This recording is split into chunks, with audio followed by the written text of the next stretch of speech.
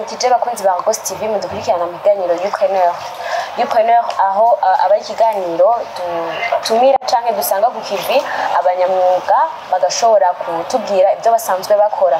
Uno munsi twagiye mu aho badandariza abasanzwe bakora amaproduit cosmetique reka dushobore ku baha ikaze bashobore kutwibwira. Ndabaramukije yego hanze. Uh, murashobora kwidondora bakora dukurikirana. Bon nitwa amazina yanjye yitwa keva. Ndi umukozi wo muri keva cosmetic Keva Cosmetic eh, twumvise Keva Cosmetic tumva byinshi bitandukanye.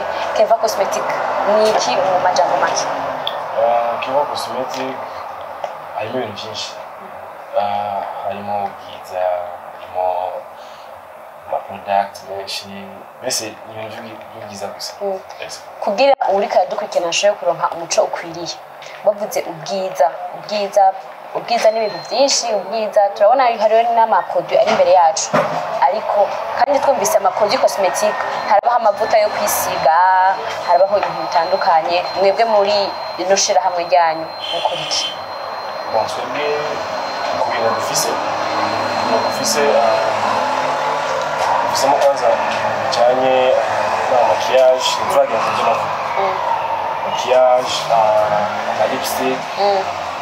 tukaba dukora n'inzara yes niyo niyo- niyo level turiko kwanza mwatanguye ryari bon navuga ko ni turi bakuru cyane muri industry bijyanye na na makeup cyane ibintu bijyanye n'ubwiza tumaze nk'amezi atatu du- dukora ariko imbere namba ntihenze gato umengo imbere y'uko dutangura kubona lancement officiel ya kino kigo twarabona ku mbuga ngurukanabumenyi rimwe na rimwe amafoto y'abantu bashaka kugira ibintu nka publicité byo byari bimeze gute? Hoho mwakorerwa mwa- hari aho mwabidandariza mu bitaraba officiel ngaha byari bimeze gute? Kuko ah, branche yacu ya mbere ni yo muri amerika. Mm. iya kabiri ni muri tanzania dufite ingamba kurenza Ah, bisigura yuko imbere yuko eh, nubwa iyo no branche yo mu Burundi iza hariho iyo branche yo muri Tanzania yazana ibidandazwa nubwo bitari bwabe officialize ngaha. Ego vu que uh, amanuka concurrence aba aba abasigaye bakora uno mwuga ari benshi.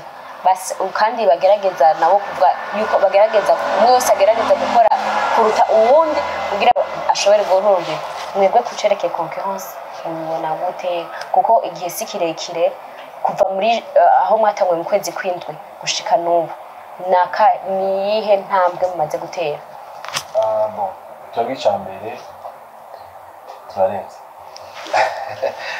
Ah, ibintu byiza umuntu wese mm. so konkurasi hari hari amanuza menshi. Hari amabotike menshi akora ibintu byacu arahari sinavuga Mm. arahari ariko twebwe um, tuje na specialite yacu kuko twe dukora ibintu byacu twaje turangura iby'abandi ngo tubikoreshe ku barundi twe tuzana ibyacu tugakoresha ku barundi bacu Eh, nyahe feedback novuga ni ubwahe butumwa mwumva abandi abandi ababitura bavuga bamaze gusohoka gituma banashobora no kugaruka ku bamaze kubitura bimeze gute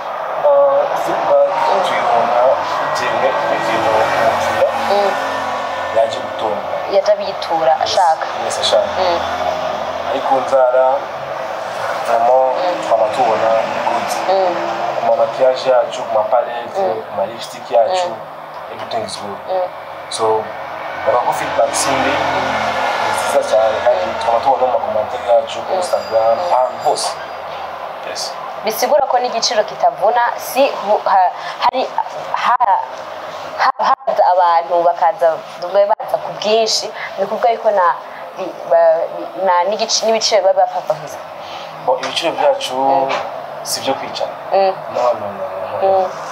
ibiciro byacu uza wisangamo kuko um, niba ushaka kuko bavuga ati ubwiza burigura Eh, so igiciro ni cya kinini hariho amakategori atandukanye. Bavuga ko hari ibizinvye kuri bamwe Mm. kuko ramwe ntibabura abantu bavuga ko bizimvye ariko nyuma iyo uguze ikintu cyo muri keva Mm.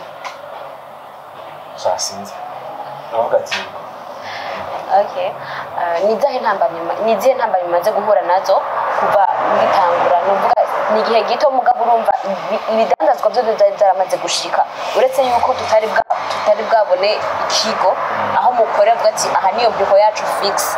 Ibi- ibidandazwa byarasekuye twarabibona ku marezo sosiyo ni iyihe ntambamyi uvuga ati ku bidandazwa byacu. Ati no mu gikorwa cacu. Umva ni ntambamyi ku bwoko bubiri. Mm.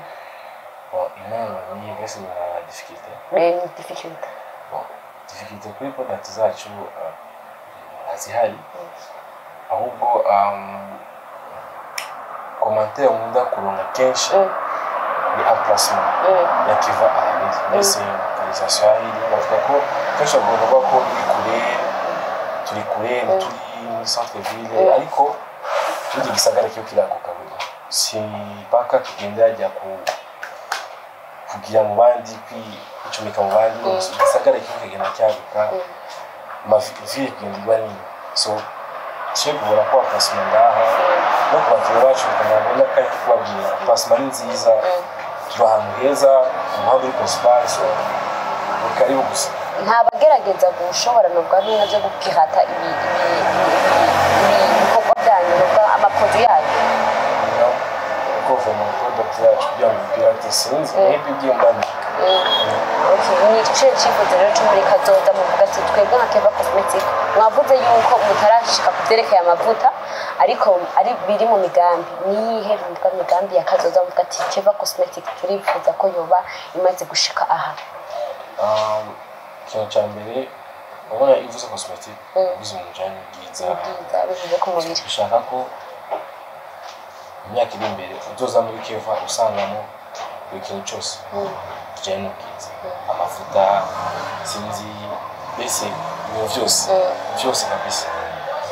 Ah, ikindi dushaka kuba ese dushaka kuba aba mbere mu burundi? Dushaka kuba dushaka kuba kutagereranywa n'abandi bife Yes. konkurase na nyinshi. Aha dushaka mbese tuba aba mbere no muri podcast byose. Dushaka gutera imbere muri byose. Ku gihugu cyacu twiteze imbere. Kuko um, plani zacu dushaka gushyira keva muri east africa gusa. Gusa tanzania ubu ni uburundi ejo n'u rwanda hose dushaka kubashyira keva Eh, ku byerekeye umugambi w'igihugu wo gushobora gutanga akazi. Nyine ukaba asanzwe ari ishyirahamwe rikiri rishasha mbega kuko ubwa mbere ryatangura ari kudandaza gusa ibi navuga amaprodu yanyu ibidandazwa byanyu ubu mukaba mwaragiyemo no kuza muravuga gukora abigeme. Mbega kuri kuri kuri iyo ka byaba byaragenze gute ku byerekeye abakozi ese akazi karatanzwe canke nk'ubu haje abantu hari iminsi bisaba ko tuzi ko aba ari iminsi y'imanza. Mbega iyo ka ishitse hakaba ari nk'abantu tuvuga abashika cumi muri kino kigo. Murashobora kuba kubatunganyiriza byihuse batavuze ati twarambiwe nitwa- ntibanyarukirije kuri parti y'utuzi Mm. uh, abajene baronse akazi nanjye ndimo n'abandi bakozi barimo kandi nitwaguka n'abandi bazogenda babona akazi so kuri parti ya serivisi benshi. iyo ari benshi Mm. iyo neza turiko birabaho Mm. kuko ntiturabona abakiriya baza like ari benshi. Mbese vuba vuba. Eh,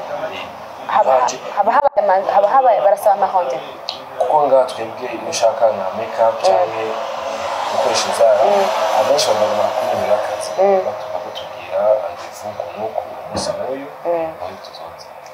Mwabiteguriye Eh, ariko nibishika dusaba amakiyezi n'abandi bagakora bakibazo Okay. Eh, nk'akajambo ko gushobora kurangiza ikiganiro ko bari akahe kuri akajambo ko gushobora kurangiza kino kiganiro ko bari akahe umuntu wese ariko bwa mbere yaratangwe kumva produit ya Kiva Cosmetic umuntu wese adukurikiranye ari rya mbere yumvise ko mu Burundi hashobora kuba hakorerwa ama produit de beauté ko bari akahe abantu babwira abantu nuko turi ngaha kumenya ubwanyu kubera ubwiza bwanyu Ah, dushaka kuba ibintu byiza kandi ibintu biboneka neza muri sosiyete nk'ubu so icyo nifuza ko mwakira byiza kuko tuzogenda muri ibintu amajambo make ibikorwa turabashimiye cyane kubona mwashoboye kuduha ikaze mugashobora kudusangiza ibyo musanzwe mukora twizeye ko n'ikindi gihe nitwabakenera muzoshobora kutwitaho ego murakoze cyane nanjye ndishimiye kubona mwasuye nka apositeli Mm. Ndabashimiye namwe mwashoboye kudukurikirana. Uno akaba ari ku musozo ni ikiganiro cyacu isango ni mu kiganiro cyacu kindi gikurikira murakoze